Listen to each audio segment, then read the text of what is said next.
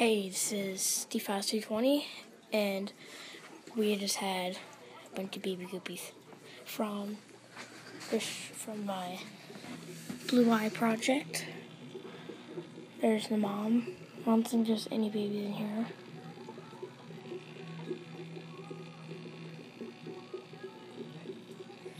No, she had them all in the tank.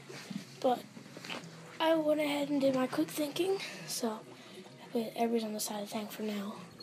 But look at all their baby fries. They're so small. As you can see right there, they all have blue. Some of them have blue eyes, which is from. Oh, they're actually platy mixes. That's why. That's why some of them have are longer. See, that one's not like guppy shaped, it's longer. That one's guppy shaped. That one's like bigger. So yeah, and they bred with that guppy back there, with blue on top of his eyes. Not that, not they he bred they bred with that right there, that platy. He has a bluish gray eyes. So yeah, pretty cool.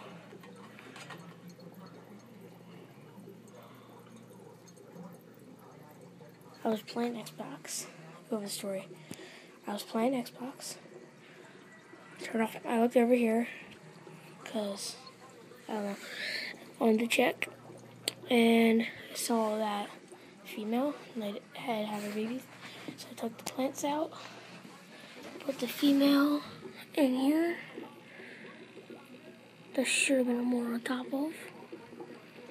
But yeah. I put the female in there. But I think she had all her babies already because there's a lot of them in there. And there's one back there. But yeah, there's a lot of them in there. So yeah.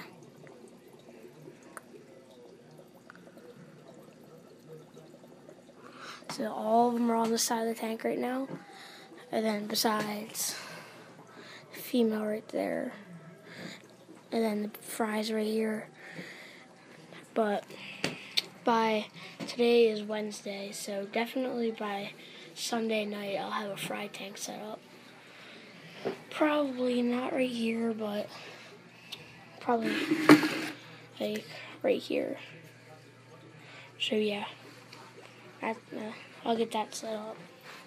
I have a five gallon amount for it, but yeah, that was a surprise pretty awesome. Not expecting it at all. Uh, it was, but I wasn't expecting it for another two weeks. But I guess I was wrong, and these guys popped up.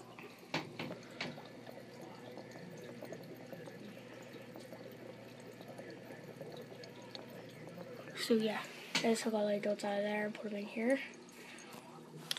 Then I'm gonna bring over my soft net from my mom's house and get all these guys out.